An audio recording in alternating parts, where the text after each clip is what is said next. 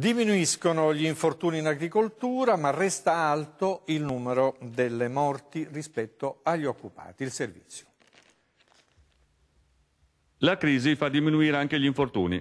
Infatti i dati INAIL in Piemonte confermano la tendenza degli ultimi cinque anni con un forte calo delle denunce che quest'anno si assestano a 50.000, meno 9% rispetto al 2011 e 58 incidenti mortali, meno 13,4%.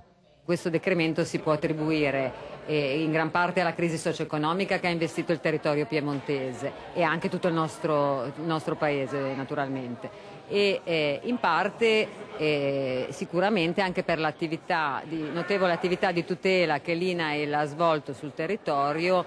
L'87% degli incidenti avvengono nell'ambiente di lavoro, costanti gli incidenti in macchina mentre ci si avvicina o si è al lavoro il 50% sono a carico dell'industria e dell'artigianato, meno pericoloso il terziario, ancora più uomini che donne e in percentuale più stranieri che italiani.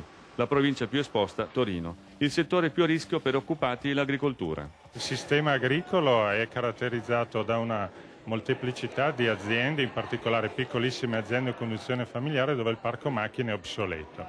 Quindi l'intento è di favorire l'adeguamento anche di questo parco macchine che è quello che dà più problemi in termini di sicurezza. Infine, anche le malattie professionali, sia pure più lentamente, calano le denunce. Il comparto più esposto è ancora l'agricoltura, che quest'anno risulta il sorvegliato speciale.